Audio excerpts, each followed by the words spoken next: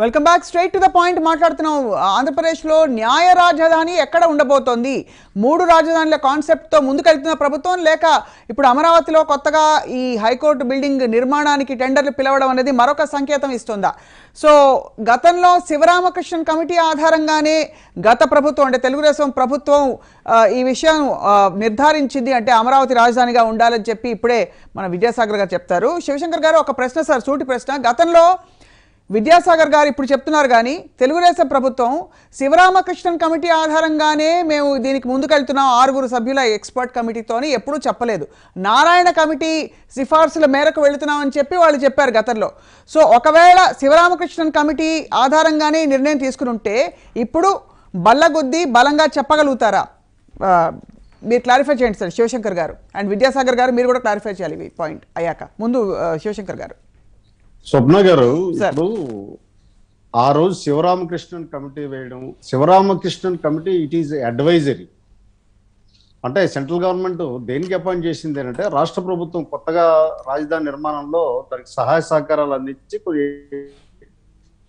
Advise చేయడానికి కోసం ఇస్తుంది కానీ అది దట్ ఈ not a statutory body number one. Right. Second thing ఏంటంటే శివరామకృష్ణన్ కమిటీ ఏర్పడడం సబ్సిక్వెంట్గా government the then municipal minister Narayana committee వేయడం. రైట్ సబ్సిక్వెంట్గా సబ్సిక్వెంట్గా అమరావతి రాజధాని నిర్ణయం తీసుకోవడం.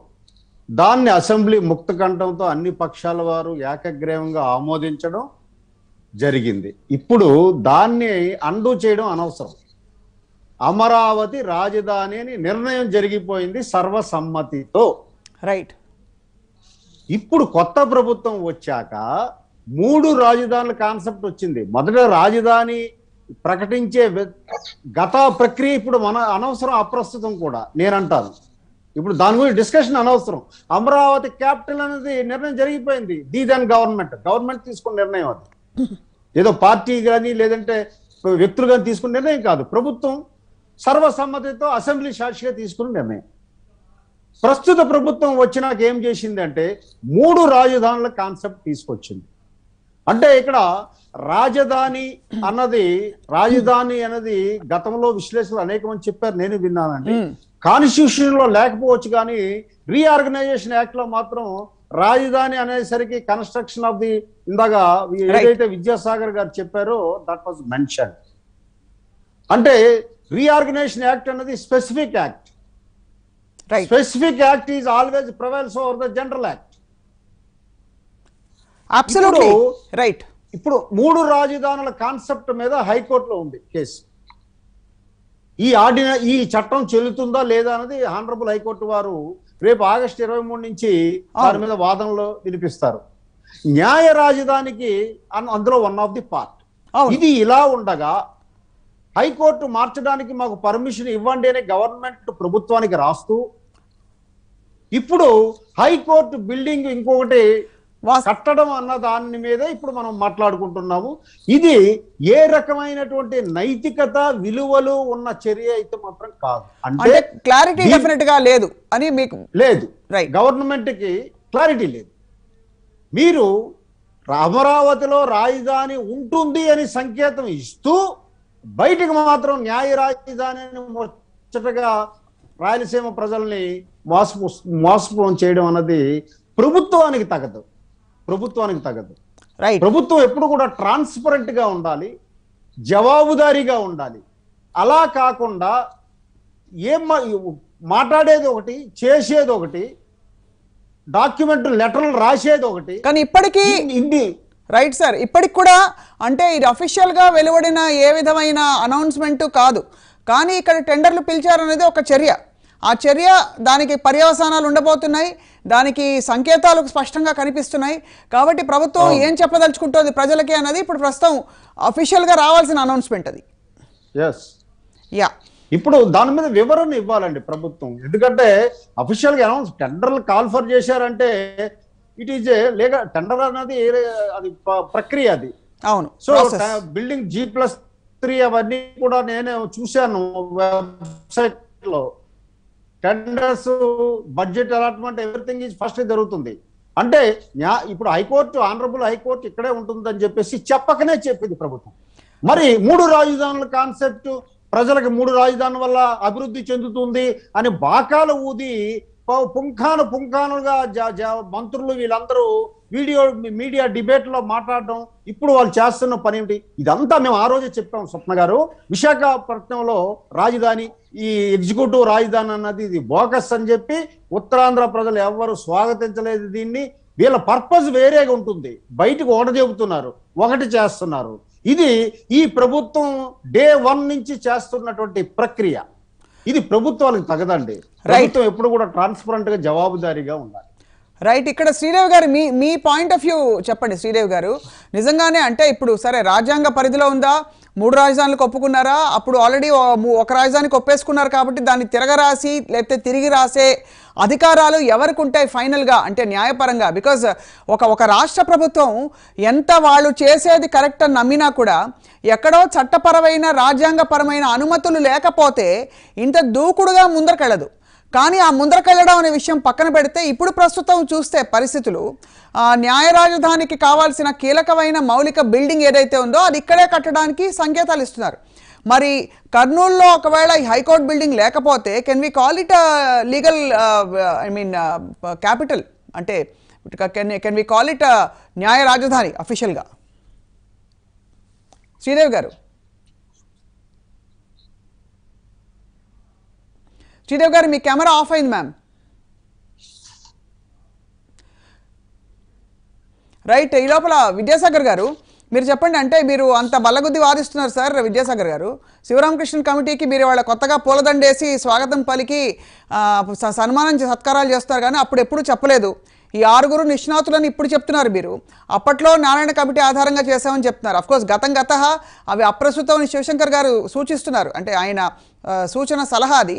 బట్ నెవర్దలెస్ మీరు ఎప్పుడు కావాలంటే అప్పుడు ఎవరికి కావాలంటే ఎవరి శాంక్టిటీ కావాలంటే అది లీగల్ బాడీయా స్టాచ్యుటరీ బాడీయా ఇవన్నీ చూసుకోకుండా కూడా వాళ్ళకి తగిన సత్కార గౌరవ మర్యాదలు చేసేసి వాళ్ళని మీరు వాడేసుకోవడం అన్నది మాత్రం కొంచెం ఒకలాగా ఉందండి. విద్యాసాగర్ గారు. స్వప్న గారు నేను చెప్పింది అర్థం. కాలేదు. ఏంటంటే శివరామకృష్ణ గారు పని చేస్తే గాడిద పని చేయమంటే కుక్క పని చేశారు అని మొదట్లోనే చెప్పా. గవర్నమెంట్ ఆఫ్ ఇండియా ఆయన చెప్పిన పని వేరు ఆయన చేసిన పని వేరు. కానీ ఆయన is not the final authority. ఆయన ఒక్కడు ఏదో రికమెండేషన్ చేస్తే అట్లా సెంట్రల్ గవర్నమెంట్ ఇట్లా స్టేట్ గవర్నమెంట్ వినాల్సిన అవసరం ఏం లేదు. సో నారాయణ గారు ఫైనల్ అథారిటీ ఒక్క నిమిషం ఒక్క నిమిషం ఒక్క నిమిషం మాట్లాడు. కిందకి ఐదు మంది వస్తే ఆయనతో పాటు చాలా పెద్ద పెద్ద ఇన్స్టిట్యూషన్స్లో ప్రొఫెసర్స్ వాళ్ళంతా ఎదురు ముగ్గురు ఇచ్చారు. వాళ్ళు వాళ్ళు రికమెండ్ చేశారు. శివరామకృష్ణ కమిటీ అనేది నలభై రెండు పేజీలు కాదండి. రెండు వందల యాభై ఆరు పేజీలు. రెండు వందల యాభై ఆరు పేజీలు చదివితే ఎవరెవరు అమరావతి రికమెండ్ చేశారు? మీరు నారాయణ కమిటీ అంటున్నారు కదా అది నారాయణ కమిటీ కాదు. Municipal administration and planning committee దాని పేరు. ఇది వైసీపీ వాళ్ళు చెప్పింది నేను చెప్పేది కాదు. Section three point six point two లో మీరు చదువుకుంటే రీఆర్గనైజేషన్ శివరామకృష్ణ కమిటీలో అందులో ఉంది. శివరామకృష్ణ కమిటీ డైరెక్ట్గా రాష్ట్ర ప్రభుత్వంతో మూడు సార్లు ముఖ్యమంత్రి గారితో వాళ్ళతో మీటింగ్ చేసి మీ అభిప్రాయాలు మాకు చెప్పండి మీరు కమిటీ ఫామ్ చేయమని చెప్పి చెప్పమని చెప్పడమే శివరామకృష్ణ కమిటీ చెబితేనే అప్పుడు మున్సిపల్ అడ్మినిస్ట్రేషన్ దాటి అలా కాదండి. విద్యాసాగర్ గారు విద్యాసాగర్ గారు మీరు న్యాయవాదండి. ఇప్పుడు అప్రస్తుతం ఏమిటి ప్రస్తుతం ఏమిటి? ఇప్పుడు శివశంకర్ గారు కొన్ని పాయింట్స్ చెప్పారు. ఒకటి the it is pending August twenty కి మనకి తెలుస్తుంది అని చెప్పారు. అంటే ఈ- కేసు అనేది మూడు రాజుల అంశం. హైకోర్టులో. Pending. No no when it is pending and when we are actually still declaring three రాజధాని concept as per status quo continuing ఇక్కడ మళ్ళీ టెండర్లు పిలవడం అనేది దేనికి సంకేతం? ఇట్ కాజెస్ లిటిల్ అదే, బిట్ అదే. ఆఫ్ కన్ఫ్యూజన్ కాబట్టి ఇక్కడ మూడు అదే, రాజధానులు ఉండాలా? అక్కడ ఇంకో దేశంలో అది సక్సీడ్ అయిందా లేదా? ఈ చర్చలని మనం సంవత్సర కాలం రెండు సంవత్సరాల పాటు బాగా రుబ్బి రుబ్బి వాదించేసుకున్నాం. అయిపోయింది. ఇప్పుడు పాయింట్ ఏంటంటే మూడు రాజధానుల కాన్సెప్ట్ కేసు ఇంకా పరిష్కారం కాలేదు. పరిష్కారం కానప్పుడు మరి ఇక్కడ టెండర్లు పిలవడం అన్నది గోయింగ్ ఫార్వర్డ్ మరి ఏం చేస్తారు? బిల్డింగ్ తీసుకెళ్ళి అక్కడ పెట్టలేరు కదా. ఎత్తేసి అక్కడ పెట్టలేరు కదా. సపోజ్ రేపు మూడు రాజధానుల కాన్సెప్ట్ ఫేవర్గా వచ్చింది రాష్ట్ర ప్రభుత్వానికి అనుకోండి. Okay so what is what is going to happen చెప్పండి. ఒక- ఒకటి ఒకటి స్వప్న గారు మనం ఎంత మాట్లాడుకున్నా మనం టీవీ చర్చలు ఎన్ని మాట్లాడుకున్నా అది ఏ టీవీ కానివ్వండి ఎంత పెద్ద మనిషి అయినా కానివ్వండి ఎంత పెద్ద న్యాయ కోవిదులైనా కానివ్వండి ఎవరు మాట్లాడినా కూడా పారామీటర్స్ ఏం చేసుకు మనకు పారామీటర్స్ ఏంటి? రాజ్యాంగమే.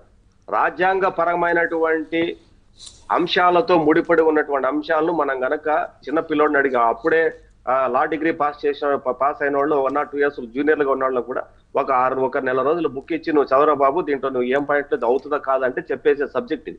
ఇదేం రాకెట్ సైన్స్ ఏం కాదు ఇది Hmm.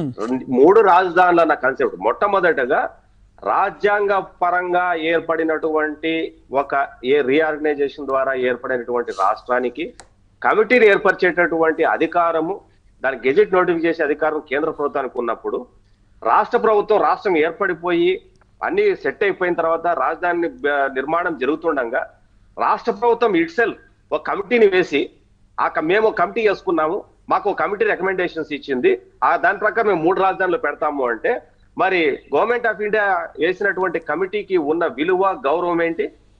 నీకు అది రాష్ట్ర ప్రభుత్వానికి మూడు రాజధానులుగా పెట్టడానికి కమిటీ వేసే అధికారం బేసిక్గా ఈ రాష్ట్ర ప్రభుత్వానికి ఉందా? లేదు.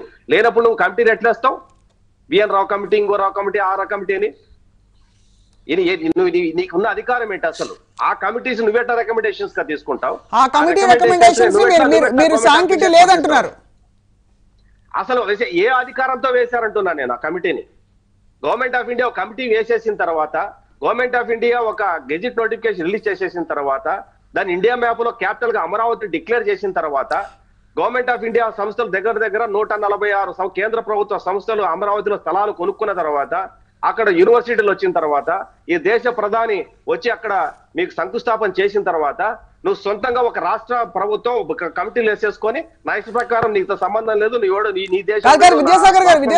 అని చెప్పేసి ఇంకో ఇంకో మూడు రాజ్యాలు పెట్టుకుంటానంటే ఈ దేశ భారత రాజ్యాంగం ఒప్పుకుంటుందా ఇక్కడ ఒక్క నిమిషం. విద్యాసాగర్ గారు మీరు మళ్ళీ మీరు చుట్టూ చుట్టూ చుట్టూ దాన్ని పెరిఫరీ పెంచుకుంటున్నారు. ఈ చర్చ తాలూకు ఫోకస్ ఏంటో. న్యాయ రాజధాని కర్నూలులో గనక ఉంటే హైకోర్టు బిల్డింగ్ మరొక చోట ఉండవచ్చునా లేదా? రాజ్యాంగ పరిధిలో ఇది ఎలా పరిగణించబడింది? అంటే అసలు రాజ్యాంగ పరిధిలోకి వస్తుందా ఇది? మరో చోట ఉండకూడదని రాజ్యాంగంలో ఉందా? కేరళలో ఫర్ ఎగ్జాంపుల్ త్రివేంద్రంలో మనకి క్యాపిటల్ ఉండొచ్చు అండ్ అలాగే కొచ్చిలో కోర్టు ఉండొచ్చు హైకోర్టు ఉండొచ్చు. సో దెన్ దీనికి అనుమతులు ఉన్నాయా అన్నది క్వశ్చన్ ఇక్కడ. నేను ఆ విషయం చెప్పేటప్పుడు మధ్యలో మీరు కొంత ఇంటరప్ట్ చేసిన స్వప్న గారు. ఆ విషయమే చెప్పబోతున్నా. చెప్పండి. నేను భారతదేశంలో నలభై ఏళ్ళలో స్వాతంత్రం వచ్చాడు ఎనిమిది రాష్ట్రాలు ఉన్నాయి. ఇరవై ఎనిమిది రాష్ట్రాలు ఎట్లా ఏర్పడ్డాయి? ఆ రాష్ట్రాలు ఎవరి ద్వారా? పార్లమెంట్ ద్వారా ఏర్పడ్డాయి. పార్లమెంట్ ద్వారా ఏర్పడి సుప్రీం ఇప్పుడు అలహాబాద్లో లక్నో మనకు యూపీలో లక్నో క్యాపిటల్ అయిన అలహాబాద్లో కోర్టు ఉంటుంది హైకోర్టు. దానికి దానికి ఐదు ఆరు వందల కిలోమీటర్లు. దాన్ని ఎవరు డిసైడ్ చేశారు? Government of India supreme court decide చేసింది కదా ఎక్కడ పెట్టాలో? అట్లాగే గుజరాత్లో అట్లాగే చండీగఢ్లో అట్లాగే కేరళలో. లేక తమిళనాడులో మనం చెన్నైలో హైకోర్టు ఉంటే మదురైలో ఇంకో బెంచ్ ఉంటుంది. ఎవరు డిసైడ్ చేశారు? ఆ రాష్ట్ర ప్రభుత్వాలు డిసైడ్ చేశాయా? కేంద్ర ప్రభుత్వం పార్లమెంట్ డిసైడ్ చేసి సుప్రీంకోర్టు డిసైడ్ చేసిందా?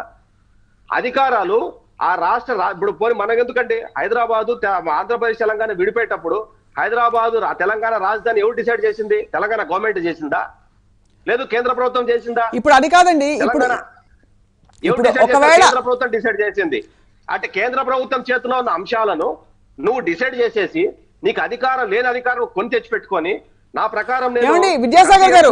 మీరు కొంచెం విద్యాసాగర్ గారు? విద్యాసాగర్ గారు విద్యాసాగర్ గారు మీరు సగౌరవంగా మీరు మీరు అడ్డంగా వాదిస్తున్నారు కానీ కమిటీలు వేసే అధికారం రాష్ట్ర ప్రభుత్వానికి లేదంటారు. మీరు కమిటీలు మీ హయాంలో మీరు 100% కమిటీలు వేస్తారు. మీరు వేయలేదా? కమిటీ? ఏ కమిటీ? మీ ప్రభుత్వంలో వేయలేదా మీరు మీ హయాంలో? ఏ- కమిటీ అంటున్నా? మీరు చెప్పండి మీరు వేశారా లేదా కమిటీలు? రాష్ట్ర ప్రభుత్వానికి సంబంధించిన వ్యవహారాల్లో రాష్ట్ర ప్రభుత్వాలు వేసుకుంటాయి. కేంద్ర ప్రభుత్వానికి సంబంధించిన విషయాల్లో మేము ఏ కమిటీ వేసామండి? అండ్ కేంద్ర ప్రభుత్వం ఇంతకీ. అదేదో సామెత ఉందండి ఇప్పుడు. కేంద్ర ప్రభుత్వం దీనిపై స్పందించి లేకపోతే తగిన చర్యలు న్యాయపరంగా ఇఫ్ ఇట్స్ నాట్ అలౌడ్ ఈ జరుగుతున్న ఈ ప్రక్రియ అంతా చేయాల్సిన వాళ్ళు చేస్తారు. మీరు ప్రతిపక్షంగా ఉన్న అంటే యాక్చువల్ పాయింట్ వదిలేసి చుట్టూ ఉండే అనేక పెరిఫరల్ అంశాలు లేకపోతే కమిటీల శాంకిటీ అవి స్టాచ్యుటరీ బాడీసా కాదా వీటిపై చర్చ పెట్టడం వల్ల దాని it's not going to solve the problem ఇవాళ అడుగుతున్న ప్రశ్న సూటి ప్రశ్న ఒకటే. న్యాయ రాజధాని శివశంకర్ గారు మీరు చెప్పాలి సార్. న్యాయ రాజధాని గనక కర్నూలులో. నిర్ధారణ అయితే మాట ముగిస్తాను స్వప్న గారు. న్యాయ రాజధాని కర్నూలులో నిర్ధారణ అయితే ఇక్కడ హైకోర్టు కట్టే అనుమతి గనక రాష్ట్ర ప్రభుత్వానికి లేకపోతే దాని లీగల్ అండ్ కాన్స్టిట్యూషనల్ ఇంప్లికేషన్స్ ఎలా ఉంటాయి? శివశంకర్ గారు. అంటే ఒకటండి స్వప్న గారు. సార్. ఇప్పుడు మూడు రాజధానుల బిల్లు హైకోర్టులో ఉంది కాబట్టి దానికి అది చట్టం ప్రకారం జరిగిందా వ్యతిరేకం జరిగిందా అన్నది మ్యాటర్ సబ్ అది సబ్జుడిస్లో ఉంది మనం మాట్లాడుకో ఎందుకంటే కోర్టు వారు నిర్ధారిస్తారు. ఒకవేళ కోర్టు వారు రేపొద్దున్న న్యాయ రాజధాని కరెక్ట్గా ఆ, కర్నూలు తరలించవచ్చని చెప్ చెప్పితే మీరు అన్న ప్రశ్న అదే కదండి? అంతే సార్. ఇప్పుడు ఇక్కడ కడితే ఏమవుతుంది అని అంటున్నారు. ఏమవుతుంది బిల్డింగ్ బిల్డింగ్ ఎక్కడికి పోదు కదండి. ఆ బిల్డింగ్ వేరే గవర్నమెంట్లో బిల్డింగ్స్ కన్స్ట్రక్ట్ చేస్తారు చాలా అవును అవును అవును. గవర్నమెంట్లో ఏమవుతుంది అని అంటే సపోజ్ మనం విజువలైజ్ చేద్దాం ఒక సిచ్యుయేషన్. హైకోర్టు అంతా అక్కడికి మారిపోయింది అనుకోండి ఈ బిల్డింగ్స్ వేరే దానికి వాడతారు. రైట్. అంత మాత్రాన అదే అది కాదు. కాకపోతే ఏంటంటే ఇక్కడ నైతికత ఇక్కడ నైతికత స్పష్టత. ఇప్పుడు అవును. నీకు స్పష్టత నైతికత రెండు లేవు. మీకు గవర్నమెంట్లో పెండింగ్ ఉంది. మీరు లేని పవర్ని ఆపాదించుకుని చట్టం చేశారు. హైకోర్టు మీరు చట్టం ద్వారా తరలించలేరు అనే విషయం తెలిసి కూడా ప్రభుత్వం వారు చట్టం చేశారు. మొదటి తప్పు అక్కడ జరిగింది. రైట్ ఇప్పుడు మిగతా ఎగ్జిక్యూటివ్ రాజధాని శాసన రాజధాని ఇక రాజధానులని పేరు పెట్టి డీసెంట్రలైజేషన్ ఆఫ్ క్యాపిటల్ వల్ల అభివృద్ధి చెందుతుంది అనే కాన్సెప్టే it is ridiculous decentralisation of development చేయాలి కానీ క్యాపిటల్స్ విడదీస్తే అభివృద్ధి ఏం జరగదు. ఇంకో నాలుగు కూడా పెట్టుకోవచ్చు. ఇప్పుడు సబ్జెక్ట్ యా అండ్ పే పేరుకి ఇప్పుడు స్పోర్ట్స్ క్యాపిటల్ పెట్టొచ్చు ఫర్ ఎగ్జాంపుల్. అలాగే ఆర్ట్ క్యాపిటల్ ఇంకోటి కళా రాజధాని పెట్టొచ్చు. రాజధాని అలా పెట్టుకుంటూ పోవచ్చు అది కాదు. ఇక్కడ ఏంటంటే అల్టిమేట్లీ ఇప్పుడు ఇక్కడ హైకోర్టు బిల్డింగ్ ఇక్కడే ఉండి ఒకవేళ ఉండి కొనసాగితే గనక డీమ్డ్ క్యాపిటల్ అల్టిమేట్గా ఏదవుతుంది మనకి కర్నూలుకి ఉండే-. కర్నూలుకి ఏం. శాంక్టిటీ వస్తుంది అండ్ దీనికి ఏం శాంక్టిటీ పెరుగుతుంది తరుగుతుంది అన్నది క్వశ్చన్ చిన్న బ్రేక్